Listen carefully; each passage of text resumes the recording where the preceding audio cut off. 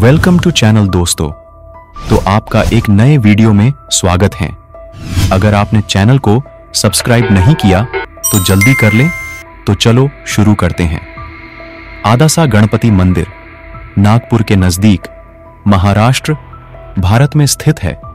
और यह भगवान गणेश जी के प्रमुख धार्मिक स्थलों में से एक है। आदासा गणपति मंदिर नागपुर से 40 किलोमीटर की दूरी पर कलमेश्वर तालुका में है।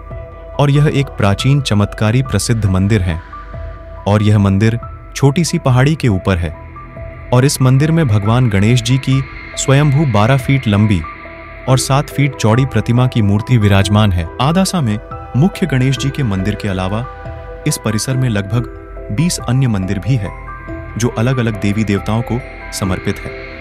यहाँ दुर्गा माता मंदिर काल भैरव मंदिर, हनुमान मंदिर आदि शामिल है। यह मंदिर परिसर लगभग 10 हेक्टेयर के क्षेत्र में एक पहाड़ी पर फैला हुआ है।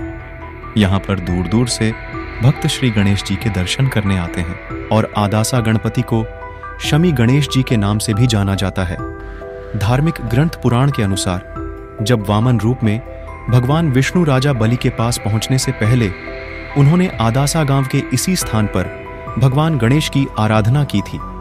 तपस्या से प्रसन्न होकर भगवान गणेश जी ने शमी के वृक्ष से प्रकट होकर भगवान वामन जी को दर्शन देकर आशीर्वाद दिया था।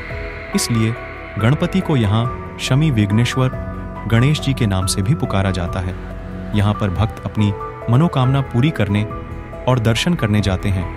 कहा जाता है कि यहाँ पर जो भी सच्चे मन से दर्शन करने जाता है, भगवान श्री गणेश जी उनकी मनोकामना पूरी करते हैं। यहाँ पर जाने के बाद यहाँ का खूबसूरत शांत वातावरण आपका मन मोह लेगा। अगर आपको हमारा वीडियो अच्छा लगा तो लाइक शेयर सब्सक्राइब करना ना भूलें। धन्यवाद।